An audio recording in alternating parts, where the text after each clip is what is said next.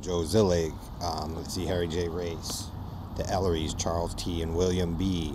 Um, DJ Dave, Little Quinwans, Perlita Quinwans, GPS Paso Roble Minister, and Gordon, and anybody who thought the Challenger shuttle explosion back in 87 was funny, right?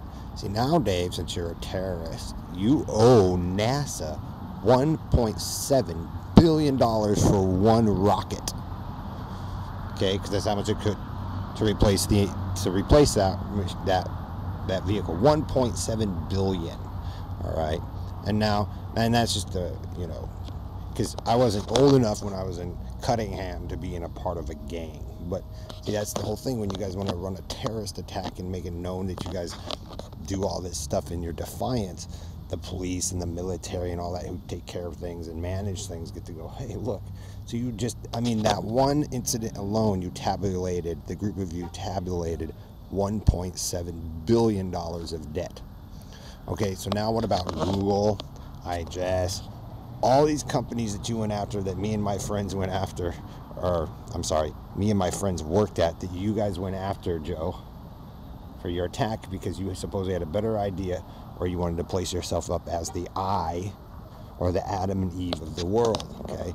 And so, like I said, I have another reference to Florida. So it sounds to me that one of you took the information I provided, and, and since you had a lot of money, and did your little journey around the earth based upon information provided by homeless people, doctors, all this, and then you use that as your atheist excuse. Well, that's not how things work. And if you're going to be a leader like that, David, and little Quinwan, little Lita Quinwan, and you know GPS Paso Roble Minister, and keep docking in down here in, in California and re and reinstituting your reign of terror on the earth, it makes you look dumb. So the military who have to clean that up and babysit, the police in Aurora and in New York, and um, see the insurance cost of the twin towers, right? How much did he get paid?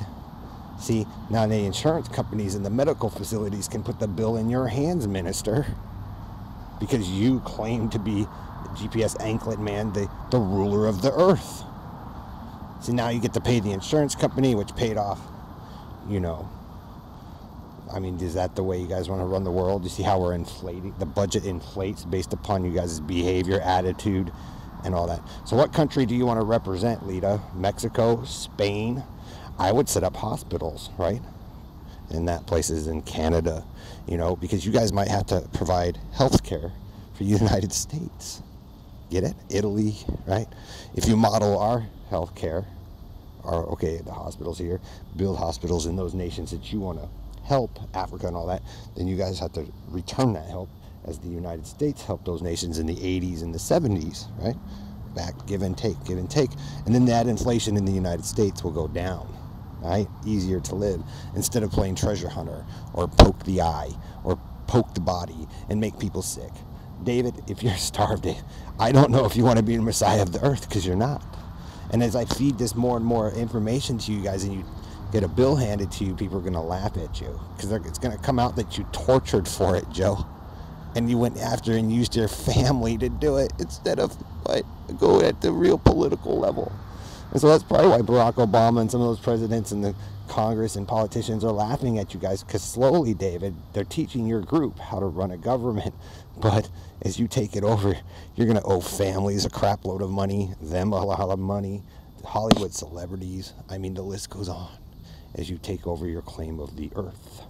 It doesn't make you gods. It means, hmm, you probably should have kept things together when it worked the first time. Because when you admit stuff like that, DJ Dave. You, know, they don't hear it. Fade it out. I'm the Indian fader out. People still hear it. And you can set satellites up to listen to your broadcast, Dave, because what you're doing isn't really God. Because you didn't embody, you used technology to do it, and we can prove that, right? So, little Lita watching everything through a camera, relaying a message, watching things that I do, downloading stuff.